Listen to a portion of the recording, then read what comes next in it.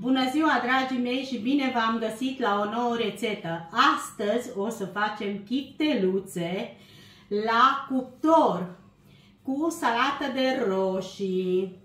Haideți să vă arăt ingredientele. O să avem nevoie. Dragii mei, m-am gândit să fac chifteluțe, fiindcă am avut foarte multe pită uscată. Am avut o jumătate de franzelă din aia mare, jumătate de kil de pită uscată. Ce am făcut? Le-am muiat pita, le-am stors și am zis la Mihai să-mi cumpără jumătate de kil de carne tocată, din asta de porc, nouă asta ne place.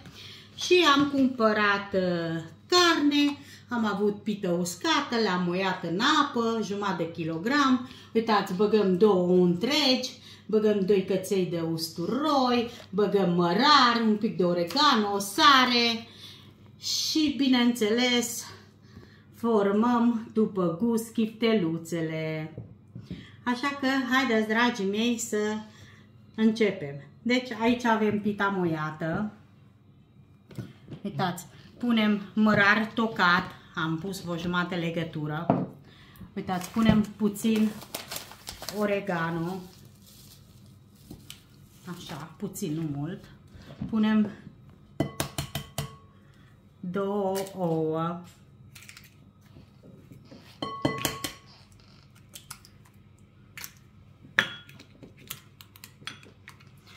Avem doi căței de usturoi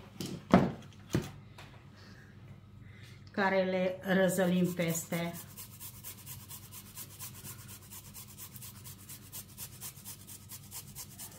Nu. Așa.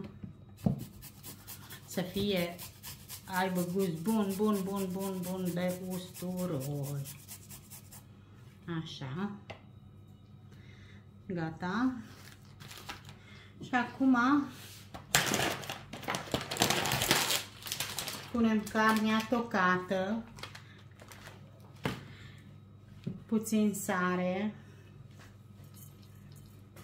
asta după gust.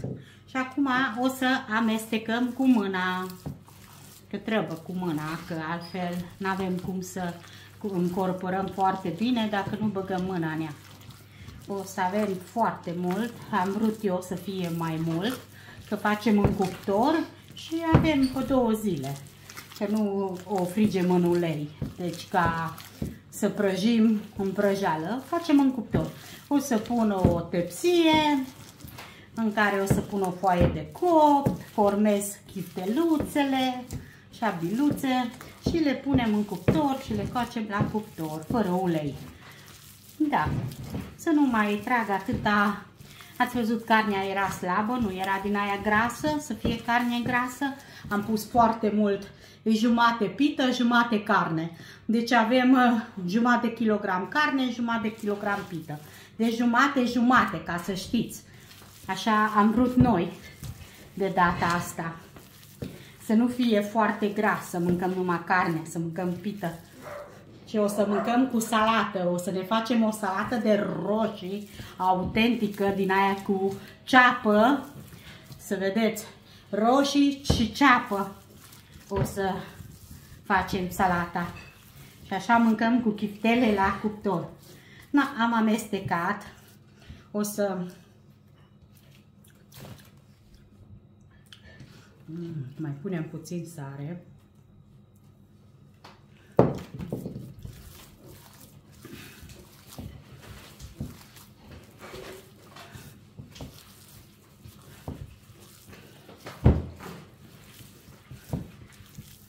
Și acum o să formăm chiftelele.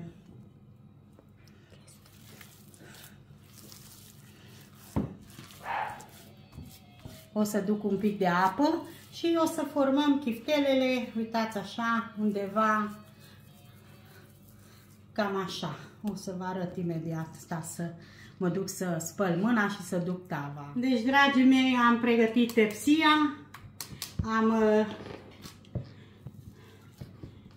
pus o foaie de copt, am pus din jos un pic de ulei și acum formăm chiftelele. Uitați așa. Le facem Așa.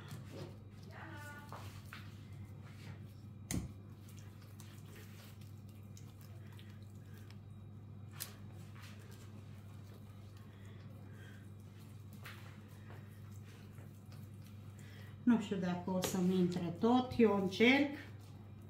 Acum să vedem, dacă nu, mai lăsăm. Facem decât o tepsie.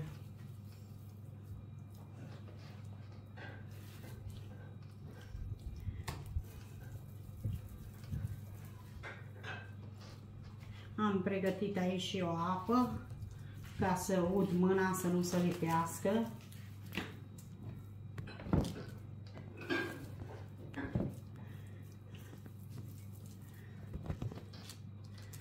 Acum nu știu dacă... Hai să punem de așa.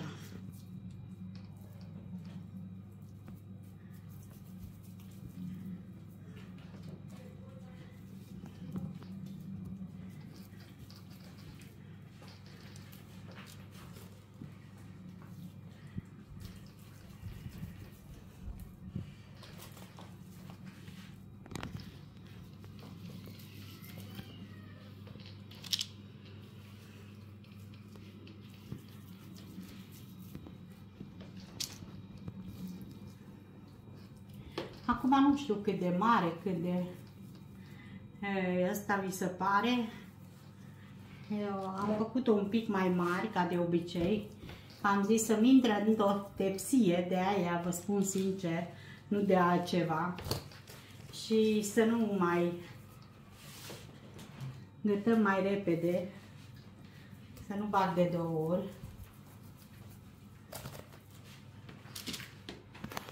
Nu știu dacă o să-mi intră. Am încercat eu să îngrămăduiesc aici. Aici am făcut-o un pic mai la distanță. Să mai pot să pun un rând. Nu știu dacă mai pot. Încerc. Așa.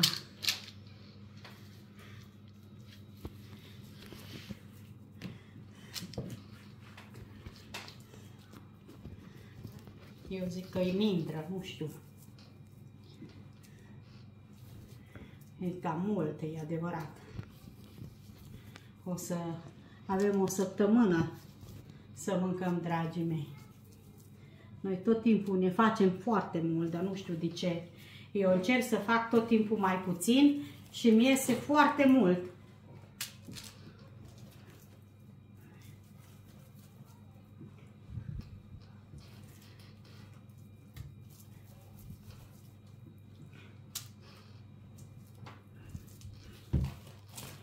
Hai să încercăm să împărțim asta în două, două mai mici.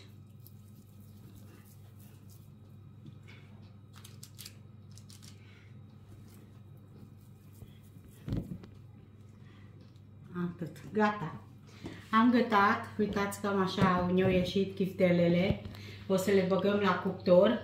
Nu le-am numărat. La ăștia le-am făcut mai mici, ăștia mai mari. Acum eu nu le mai scot.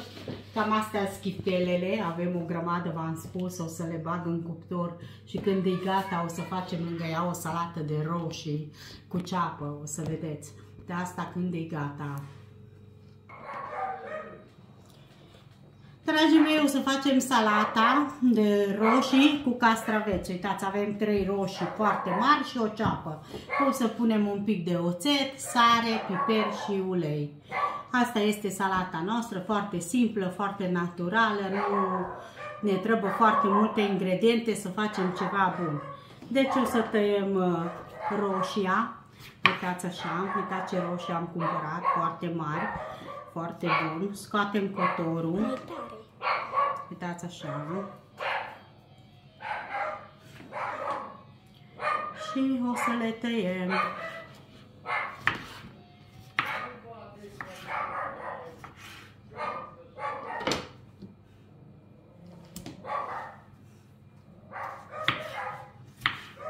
Nu facem foarte mult, deci atâta cât mâncăm noi.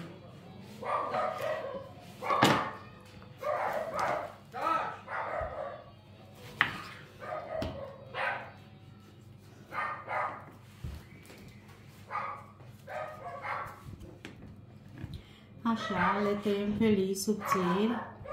Așa. Și le punem în bol.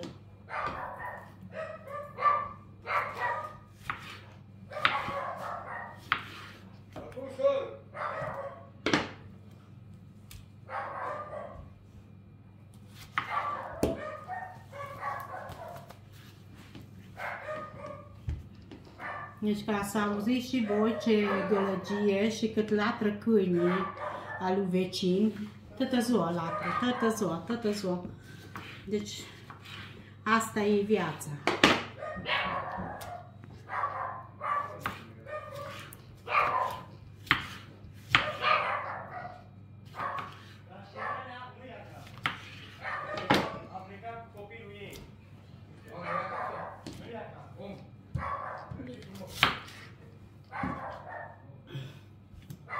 Uitați.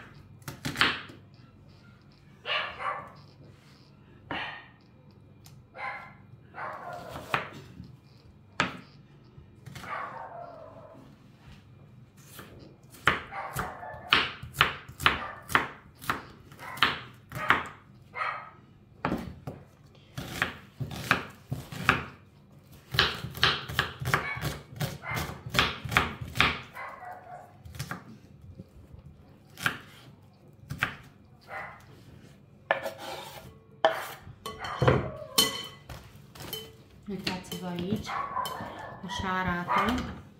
Deci aici avem ceapă și roșii. Acum o să punem pe ea un pic de sare, un pic de ulei, oțet și asta este salata noastră. Am tăiat roșii, am tăiat ceapa, punem sarea, punem puțin ulei, așa, și puțin oțet.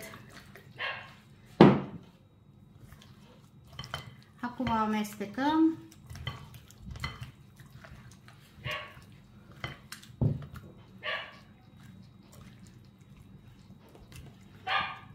Și asta este salata noastră.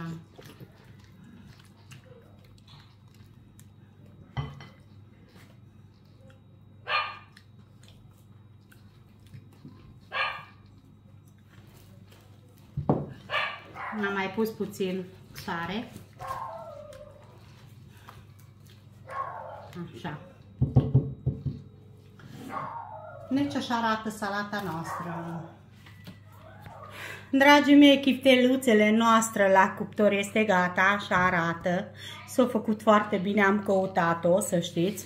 Și acum, uitați, o să scoatem, să vă arăt și din jos. Uitați-vă aici, dar este fierbinte. Și uitați, punem lângă salată. V-am arătat că și din jos este făcut. E fără ulei, ați văzut, nu? Este fără ulei. Așa. Mai pun una. Așa. Deci, chifteluță cu salată.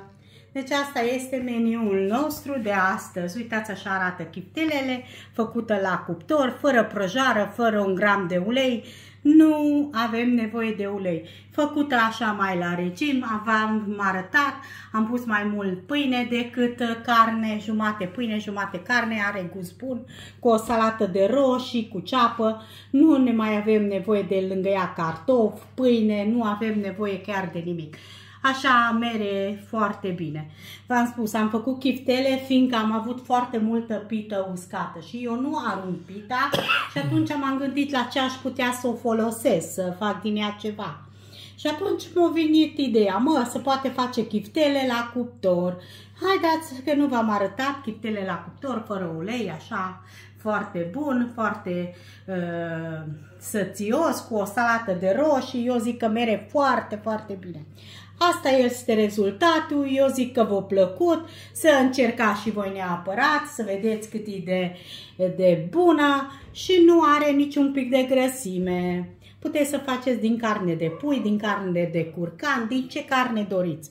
Așa că eu vă doresc poftă bună, dragii mei, neapărat să încercați rețeta, să veniți să mâncați cu noi. Eu vă doresc numai bine, Dumnezeu să fie cu voi, cu noi, cu toată lumea. Poftă bună, vă Haideți pup cu noi și la vă spun la masă. revedere. La revedere. Pupici! Nu știu dacă Ciao! v-am zis bună ziua, dar vă spun.